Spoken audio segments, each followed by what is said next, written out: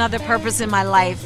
I do this with my own children, and now I, I'm connected to children that now belong to me.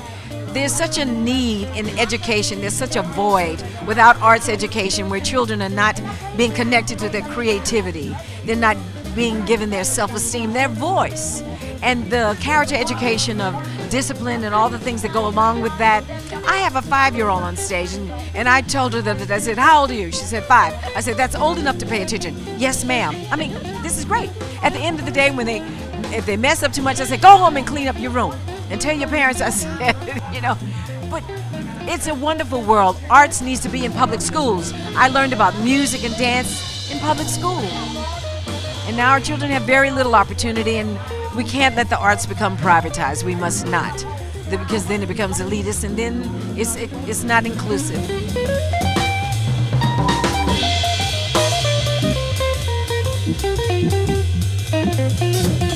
This is Loop21.com, and we are here now with Academy Award winner, Emmy Award winning, all time legend, I would say seven decades in this business.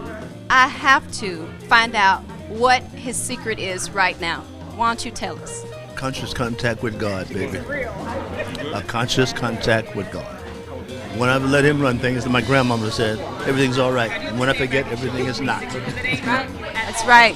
Figured it all out. I, can't, I ain't running nothing. He is. And if I fit in and be obedient to it, he'll he'll call me when he's ready, but he's not ready. You know. So I'm a mentor to, to the young, and um, I'm, uh, my life has been extended. there you go Very uh, comfortable, healthier than I've ever been in many years. I did the uh, the audio book of 12 Years a Slave, and with through the foundation, I did a documentary down in, in Bunkie, Louisiana, where the original 12 Years a Slave took place. And so we did a documentary for educational television, where the uh, the descendant of those slave owners was there, the mayor, and so it was pretty informative. It'll be out in about 20 days. Well, we'll be looking for it. Guys, for Loop21.com, you have it right here with Mr. Louis Gossett Jr.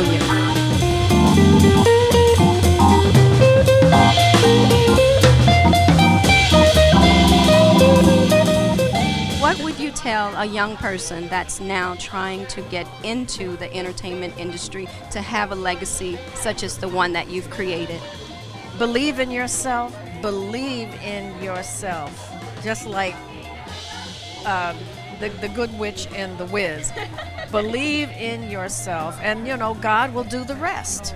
Yes. You know, and and also you know keep keep uh, filling the you know filling the pot. You know, in other words, keep, go to school.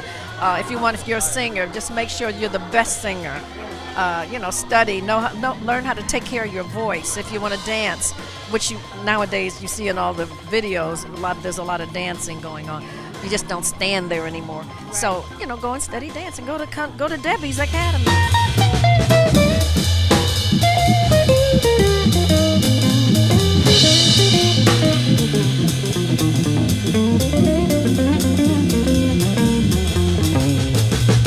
Hey guys, this is a Loop21.com exclusive. and I'm an ex Dada mom. My girls grew up here, so I participated, and Debbie's been my friend for- for years. So even now my girls have graduated out, I wouldn't think of missing a gala.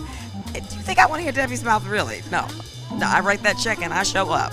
And I just want you to tell the viewers what it means to have the longevity that you have had Well, in this after business. I stopped tearing up because now I got to fight back my tears. It's so sweet. Um, you know, I just say that you just don't stop. You know, I end my radio show, my blog talk radio show that I'm doing over a year. I end it by saying, "What don't kill you make you stronger," and until then, just keep it moving.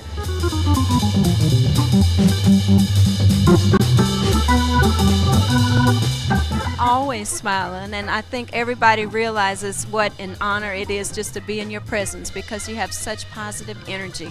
Oh, thank you so much.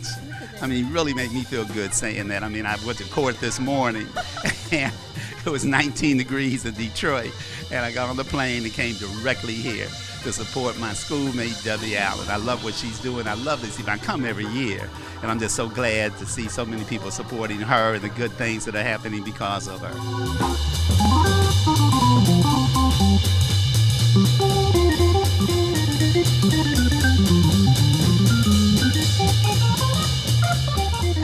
Up dancing. I grew up in acting class and, and, modeling. My mother was very interested in not having an idle child. She felt like that was the key to not going through teen pregnancy. as far as she was concerned, that was it. So, um, and like you said, I went to high school for the performing and visual arts in Houston, and originally it, it wasn't my choice. I thought I should go on to, you know, just a regular high school with all my friends, be a cheerleader or something like that. And my mom was like, no, I don't think that's right for you. You need to audition for this school. And within two weeks, I knew that it, it, it was going to change my life. Like being on Dancing with the Stars. It's a whirlwind. It is a whirlwind. You can't even imagine. It's it's I've I've worked on Broadway. I've done soap, all things that are, are very, very difficult to do and require a lot of your time. That was the most difficult thing that I have ever done. Well, I'm I'm here for for Miss Allen, and I anything she does, I am always with her 100%, and I I will I will back up whatever she does because she's always backed up me in my career, and she has she has instilled in me everything. I mean, as far as work ethic and discipline and, and, and so much of what I know in, in the arts. And for her to have given me a lot of those tools, you know, I wouldn't be where I am today if I wasn't given those tools, and it's just that's it's just as important for me to continue to to help her to continue to help other young students. Well, to me, the arts is the closest you can come to being godlike, to be creative. We always talk about the creator, created in seven days. How was the earth created? And if you can connect to your creativity, then you are being very godlike. And I uh, tell them that my dance studio is my church and that this is a very spiritual place for me and it's holy and I know that I am doing God's work. Hey guys, this has been Loop21.com on location at the Debbie Allen Dance Academy Gala. We'll see you next time.